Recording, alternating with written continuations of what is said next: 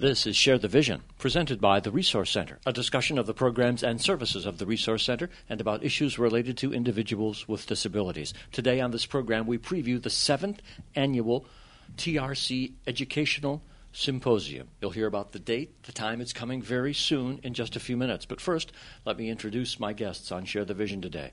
Michelle Albaugh, Director of Learning and Development here at the Resource Center. Heather Brown, Assistant Executive Director at TRC. And also in the room with us, Vicki Bardo, the Development and Events Manager from Filling the Gap. Steve Watterson, who's almost always here at the beginning of these shows, uh, was called to do something else. At least as we start the show today, he may be here as it comes to an end. We'll see. But first, so you can get to know the voices of the people on the air here today, Michelle, hello. Thanks for joining me on the radio. Good morning, Dennis. Nice to see you. Very nice to have you here. And Heather Brown, welcome back to Share the Vision. Hi, Dennis. How are you today? Well, fine. Let's talk a little bit about since this is the seventh annual symposium, you have some history with doing these at the Resource Center. Tell me, uh, Michelle or Heather, what they're all about. This symposium is an opportunity for us to bring together thought leaders in areas that affect agencies like the Resource Center to learn and to also share some practices that maybe are working other places that we can take. It's not open just to our employees, it's something that we want to share with the community, other providers. That's been our focus in the past. This year, we are joining our previous educational conference and kind of merging the two. And so it's going to have some global perspective as well as some more targeted applications for people that are working in the field. Since you've talked about it and invited people from the community already, let's get the date, time, place out there for people so if something in the next few minutes interests them, they would know where to go to get further information and perhaps sign up. It's being held on the grounds of Chautauqua Institute at Bellinger Hall on Thursday, May 12th and we'll start at 9 a.m. and it goes to about 4 in the afternoon. If somebody's interested in registering, the easiest way is to go to our website, the and there should be a link it comes right up on the home screen you click on it and it's a very easy registration process we're, we're able to provide some scholarships through the funding from the developmental disability plannings council so individuals that receive supports and services or their family members can click on the scholarship button to register as well. Otherwise, the cost for people to attend this is how much? $99. And they can take care of all of that through the registration process. Absolutely. Now, you have already hinted at something that I really want to draw out over the next few minutes in terms of inviting people from the community, aside from those in the immediate sphere of the Resource Center, to attend this. And Michelle, you used the phrase global perspective you have a very interesting, may I say, compelling list of speakers and presenters. So I want to allow you a little time as we get started on Share the Vision today, just to name some names and give some background on this very interesting group of people. Our keynote speaker this year is Hanns Meissner. He's a the executive director of the Arc of Rensselaer. He has written a book called Creating Blue Space The Intentional Act of Individualizing Supports. He also is going to do a breakout session for us on shifting roles and relationships and moving out of delegation into partnership. I've heard Hanns speak many times. He's very, very compelling. He's a leader of a Learning Institute, a statewide organization that gets people with disabilities together to learn about person centered planning. I happen to have his book in my hand, and it, it's very, very interesting. It really talks about how individuals with disabilities can become full members of their community, can become citizens, have all of the rights and responsibilities that all of us do at this table, and all of the listeners in that partnership. What does he mean by blue space? Blue space. It's the it's the space when you think about your community and all of the things that fill your life. One of the first questions is what do you do for a living when you meet somebody new? Very honestly, that's oftentimes the kickoff to a conversation. Individuals, oftentimes with developmental disabilities, don't have all of the things in their blue space that maybe you or I are so fortunate to have. If you walk up to an individual and say, What do you do for a living? What's your kind of purpose in life? What's your meaning? everybody in this kind of theory is an equal citizen and has full opportunity to live life to the fullest and participate in everything equally both Michelle and Heather, I don't want to stop here for too long because there are many other presenters, but it occurs to me just from doing this radio show that he is going to hit on some of the current trends, the hot issues in the world of helping people with disabilities today. You're both shaking your heads up and down. What resonates with you when I say that, Michelle? I think we're right at the cusp of really helping individuals have that full life, and we've been really moving forward as a as an organization as well as our sister organizations. And so I think the things that he's going to talk about are just going to cement our own thinking and give us some new perspective and kind of helping to move it forward. Heather, anything to add? No, I just think it's going to be a great kickoff that day. We're looking forward to it. I just want to say that uh, as the Chief Executive Officer of the ARC of Rensselaer County, uh, that's an organization very similar to the Resource Center operating in another county in New York State, Eastern New York, near the New York State Correct. capital. Okay, so Mhm. that uh, ARC and, and the Resource Center sort of are in the same business, different names, but the same kind of organization. All right. Exactly. Let's go on because that's just one of many presenters. Who else is coming to the symposium on the 12th at Chautauqua that we should point out to our listeners? We're going to have a representative from NYSACRA. NYSACRA is a statewide trade organization that supports agencies like ourselves and others in coming forward with a common mission, doing advocacy, making sure that educational opportunities are always on the, the cutting edge. And her name is Carol Napresky. And she's going to talk about person centered thinking in ways that individuals with disabilities can leverage technology in their daily lives to make them more independent and to be able to live on their own. There's a lot of apps nowadays and there's a lot of smart home technology that people oftentimes don't think of. And they think that somebody perhaps with extensive medical needs or with certain disabilities need, you know, 24/7 care. And that's becoming less and less the norm. So I think Carol's going to challenge our thinking in talking about what's going on across the state and across other areas again with person-centeredness, technology and housing options. Um, housing isn't always an easy barrier to overcome. Something interesting you said there, and let me take apart the acronym, see if I do it right. New York State Association of Community and Residential Associations. Absolutely. Okay. Good job. So uh, uh, I just saw something as you were speaking, Heather, and that is persons with perhaps more limitations than some others might have in terms of their ability to move i- in uh, a residential environment.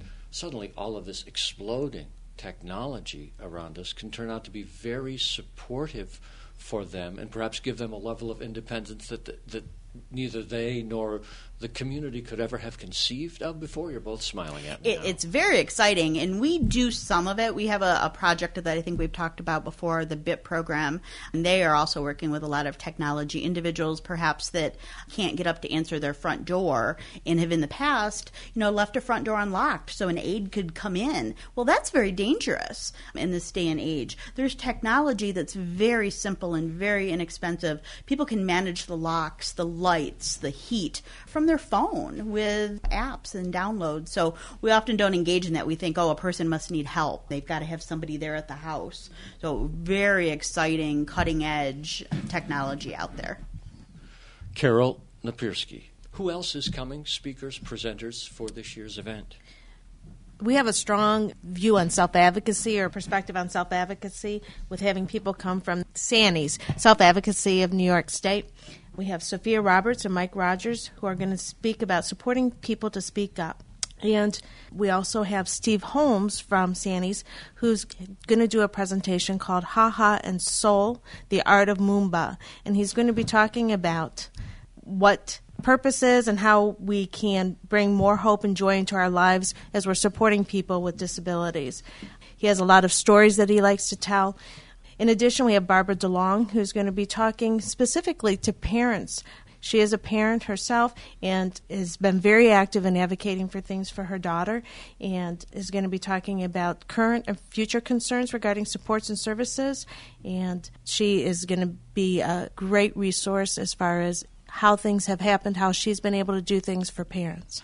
Let me take apart a couple of things, uh, extract a few things from what you just said, Michelle. And one is to help the listeners and me understand self advocacy, because this may be an idea that those people who uh, don't regularly work in the environment of the place of a place like the Resource Center might not be familiar with. What is self advocacy all about?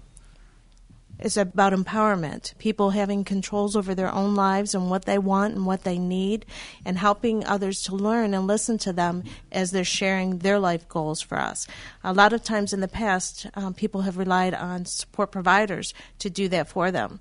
And advocacy is telling the government, telling your service providers, telling your family the things that you need and want out of your life, and learning how to do that. So, really, self advocacy is something that would be applicable to anybody. I mean, we all need to learn some self advocacy skills. A- absolutely. But for someone who may have some physical or intellectual disabilities, it may be harder to advocate on behalf of themselves because they are either they are used to being provided for, or we as a community are used to having them need to be provided for, so we presume a level of need that may not absolutely be there.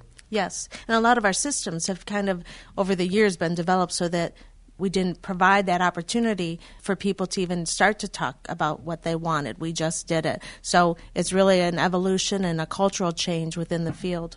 And there's a whole association across New York State that uh, helps people with this kind of self advocacy. Yes, and we, we also uh, here at the Resource Center have some groups of people that are working towards that and, and really taking some control over their own lives.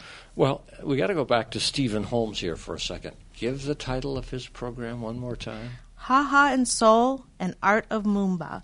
He has some songs and some stories that he wants to talk about in regards to self advocate. He is a self advocate himself, and so we're really excited to hear. Considering what you've said about self advocacy, I'm very interested in knowing how he merges music and entertainment and that kind of inspiration together. It's got to be a very provocative presentation. Yeah, we're very excited about it.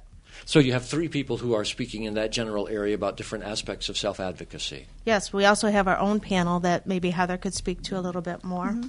Absolutely. We wanted to build on that and have some people come in from other areas of state, but also we've done such rich things here in the last four to five years regarding self advocacy, increasing independence, that we put together a panel. And this is going to be facilitated by Terry Johnson and Beth Germain, two folks that work here at TRC. But they're bringing together individuals that have moved out onto their own and have been living independently. One gentleman, Daryl, had lived in a group home for 27 years and was not satisfied and really wanted to live on his own and made that move when he was, I think, in his early 60s and has now been living on his own for several years, very successfully, very independently, with some natural supports. Another gentleman that has obtained employment at Home Depot, which has always been a very, very strong advocate of persons with disabilities.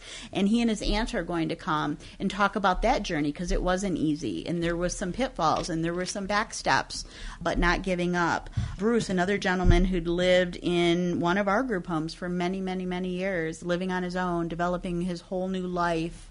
I love running into him and hearing about what he's up to these days. It's always interesting and engaging another family Tim and Devin Roche. They live in the Silver Creek area, and they're just kind of beginning their journey in self direction. Devin's a young man, kind of finding his way, and Tim serves on one of our board advisory committees, and they they're looking forward to coming to the panel. Nick Kilpatrick. If you've been at any of our other events, you'll often see Nick playing uh, musical instruments and guitar and building his own instruments. He's going to speak with his uh, support, Lisa Bongiorno, and their journey. Nick has again lived with Lisa in a, a, shared living situation for years now, very successfully. And Frank Guyette, another very, very interesting, engaging young man that has had a lot of ups and downs in his life and now being very successful in a, an alternate. So that panel in an hour's time is going to present kind of each of their personal stories. Beth and Terry are going to facilitate. It will be their stories, their their voice, hearing from the family perspective. Uh, we're extremely excited. In that panel, we're going to actually present that at two different sessions a morning and an afternoon session because we believe that's going to be really popular. There are other speakers. Some things are emerging in the course of this conversation today that I want to get back to, but I, I want to stay on the program, about the program for a moment. Are there any other speakers, uh, presenters that uh, we should identify? Heather, it looks like you want to say something. Just a few. One of the other sessions will be done by Jennifer Beagles and Wes McPhee. They are the director of transition services at an organization that works with individuals who have disabilities who are transitioning to their college careers and life. It's a very specialized program. Wes is the executive functioning coach at Transitions. They're going to demonstrate their unique approach to involving the classes for active skill building, independence, social skills, and self advocacy and how they've combined it with peer mentoring into real life environments in a college campus setting. It's being done in several areas in New York State, and we're just really anxious because we think that that would be a great opportunity to bring back to this community. So we'll be listening closely to their presentation. It, it might seem a contradiction in terms, uh, at least at the surface, to talk about individuals with disabilities uh, going to college. But you make it sound like this is something that happens and that is being the pathway is being smoothed out for them. The transition is being enhanced for them as they embrace this. Absolutely, absolutely. It's happening more and more, and partnerships are forming with agencies like ours and local community colleges to be able to structure the support system so people can be successful. And again, kind of filling that space and going on to advanced education, just like everybody has the opportunity to do so. Let me again uh, hone in on who can come or who might benefit from coming to your symposium. And again, we are here at the Resource Center talking on Share the Vision about the seventh annual educational symposium that the Resource Center is holding on Thursday, May 12th at Chautauqua Institution. Would this be appropriate environment for individuals with disabilities to come to also, Heather? Yes, most definitely. I think the lineup is really structured that there's something for everybody. There's individuals with disabilities, whether that be physical disabilities, developmental disabilities, mental health, behavioral health challenges, family members, most definitely. Michelle did mention Barb DeLong, who will be speaking. She's the head of the DAWNY, the Developmental Disabilities Association of Western New York, strong, strong family advocate. And she's had the opportunity to sit on the statewide transformation panel with the commissioners and the governor's office and has a strong voice in family members and change and then just providers in general. There's something for everybody. Uh, I, I, and people want to register, they can contact the Resource Center here. Go to your uh, website, $99 fee. This is fundamentally for the full day, Thursday, May 12th. And where exactly at Chautauqua will you be? it be? will be held at Bellinger Hall. Okay, Bellinger Hall near the north end of Chautauqua Institution. Exactly. Okay. Before I open this back up to both you and Michelle, and Steve Watterson does join us in the room, Vicky Bardo is also here for a more general discussion because the picture that you're painting here today is very interesting from the perspective of someone who comes from the outside from time to time to the Resource Center. But I want to hold back on that because there's one other speaker that we haven't mentioned that is going to be very appealing to, I think, a lot of people. So, would you please tell us about Kevin Hines? Sure. We're very excited to have Kevin Hines joining us. And not only will he be doing a breakout session on the zero suicide movement, he'll also be our closing address, our closing keynote. He has written a book called Cracked, Not Broken. When he was 19 years old, he jumped off the Golden Gate Bridge attempting to commit suicide. He has a long history of mental illness from the very, very early age and he's one of 34 people ever to survive that jump off the Golden Gate Bridge, and he's lived to tell his story. It uh, should be very interesting, very dynamic.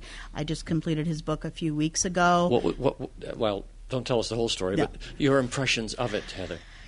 It, it was one of those stories that you couldn't put down. It, it was a, it was a very good read. It was you could relate to it in the sense of I've worked in the field for 23 years now. You could see bits of other people I know that have mental illness and the journey that they've been on. The story from again when he was 18 months old and has told it to current time. I think he's in his mid 30s now many, many people will be able to relate to his story. And I'm sure in person it's going to be very motivational, very engaging. And he really pulls together a lot of thoughts and a lot of things that will really make you question, I think, services in the way that they're integrated right now or not integrated. Interesting, and this is uh, Steve Watterson's wording in the news release I'm looking at now. He's developed a 10 step regimen to stay focused on a life path and monitor the signs of falling off the track. I certainly could use that. yeah, I, I, really think again from I, have never heard him speak in person. I've read his book, and I really think that it's going to be very connecting and very engaging, no matter where you are in life, whether you are a person that has a mental illness or has just experienced that from a family member, or just happened to be in the field, or just of general interest, but very motivational. We have a few minutes left on Share the Vision today. We are encapsulating here the upcoming Educational Symposium Thursday, May 12th at Chautauqua Institution for the Resource Center. What I would like to do now is to get all four of you in the room with me up toward the microphone here. So if you want to readjust those for a second, go ahead. Stephen Michelle will be here, and uh, also uh, Vicki and Heather. And Steve, thank you for joining me on the show today. It's always great to have you uh, in the room. I'm sorry I was late. I had a personal matter to take care of at home, and then when I was coming in the building, there was one of our panel presenters was getting into her car. I said, "What are you doing right now?" She said, "Going to lunch." I said, "You want to come up and be on a radio show about the symposium?" And Dennis, she got this deer in the headlights look and said, "No." So I don't know what so intimidating about you, but she didn't want to come up and be on the on the radio show. I'm sorry to hear that. Yeah. She's saving it for next week. I, I, think I need to talk to Kevin Hines right away. and, and, and Vicki Bardo, welcome to the microphone. Good morning, Dennis. One of the things that has been my experience, being uh, again from the outside looking in over a period of decades here at the Resource Center, is a movement. And uh, Steve, you'll have to help me with the name of the facility, uh, Long Island or somewhere in downstate New York, that really began many years ago a movement to uh, open up the view of how we helped persons with disabilities.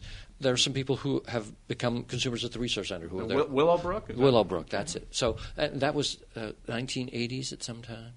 Willowbrook, I think, opened in the late 40s, and really the uh, atrocities, if you want to use that word, uh, the, the very poor way in which individuals with intellectual disabilities were treated and, and warehoused almost in uh, facilities like Willowbrook and, and other places came to light in the mid to late 60s, and then it was in the early 70s that uh, there started to be a concerted effort to close those facilities down and, and have individuals who are living there be able to move back into their home communities and, and live amongst their peers and neighbors just like anyone else should. Thank you for setting that stage and, and helping the date references. So, from the 70s to today, this evolution that goes on, and some of it in recent years seems to have been a rather tense evolution in terms of having to find new pathways for persons with disabilities to live and be successful in the community because of changes in funding or changes in uh, uh approaches to helping persons with disabilities. But the picture that I see you painting today by talking about the people who are coming to this symposium is one of extraordinary change, further change, greater independence, greater opportunity. It's a different picture than anything I think I've ever seen before. It is. I think we've likened it to the next paradigm shift that's going on in this field. And it was it, it was, you know, that many years ago in the 70s that there was the big paradigm shift from institutionalization to community-based residences and ICFs and the way that we've supported people probably for the last 30 years. In the last few years, we are breaking through that next paradigm shift and culture change where individuals should just be living in the community, supported through normal resources, going to college, having friends and family and the same opportunities, not as specialized and segregated opportunities as living in group homes and going to segregated separate things and we've really embraced that and I think have been on the cutting edge as an organization in doing so. But at the same time, there are some persons with intellectual or physical disabilities who certainly need a certain level of support and taking that away from uh, uh, an institution or an ICF, a group home, if you will, and providing the same or a similar necessary level of support in a different, more independent environment has got to be a very intricate, carefully done piece of work. It is, it is. And that's where the challenge comes in any of the advocacy and the difficulties that we are having because nobody ultimately disagrees with the end goal of increased independence. I think where we have disagreement with the state and CMS, the federal government, is the manner in which they're moving towards that because it has to take such intricate planning. You can't go from living in a 24 7 supported opportunity to here's an apartment and you may get two or three hours a week of support. That has to be a transition. And it's almost as if the funding and the regulations are pushing something faster than the system and the individuals and families are able to prepare for. So we're always in this dichotomy that we don't disagree that everyone should absolutely meet their fullest level of potential, but in some cases you just can't pull the band aid off. Well, and uh, the degree to which, and we talked about this earlier in the show, that you are relying on technology to help you, uh, and perhaps motorized assistance for persons who have uh, challenges in moving. I mean, the, the technology, the mechanization, has to be there and working in order to support these changes. Right, right. And, and people have to have natural supports. They have to have friends, family, neighbors. If you leave your house in the morning and you have a flat tire, uh, you know, you might have a neighbor that could come help you or somebody that could help support that. You're going to call Vicki. She lives uh, next door. Right, she's going to drive you to, to work. Individuals that have lived in congregate settings unfortunately, their primary support is paid professionals, paid staff. They maybe have not always had that opportunity to get to know their family, friends, and neighbors in the same way that you and I have. So, this is really about that change that everybody is in equal citizenship and should have that same opportunity for growth. Michelle, Vicki, Steve, any final comments on anything that we have talked about here today? This is Michelle. I just wanted to say we wanted to thank both the DDPC, the Developmental Disabilities Planning Council, and Filling the Gap for some grant funding that they've given us to be able to provide this um, great opportunity for learning and sharing that's coming up.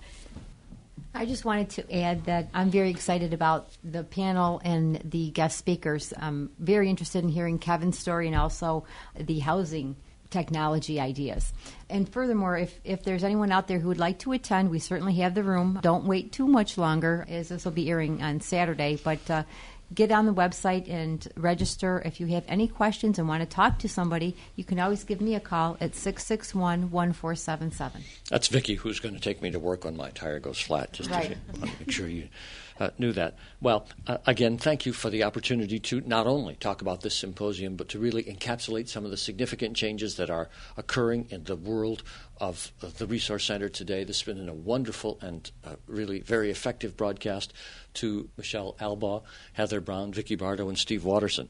Thank you all for sharing the vision today. Thank you, Dennis.